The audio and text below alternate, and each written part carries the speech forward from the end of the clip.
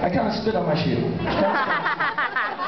welcome to the show. Welcome to the rock show. And uh, thank you. Uh, great to be back here in the Highline. We love this place. Thank you for having us. I know how you do it. And uh, they're having a big party later, so uh, but I won't tell you about that. But ask someone here. You can find. And uh, yeah, you can come.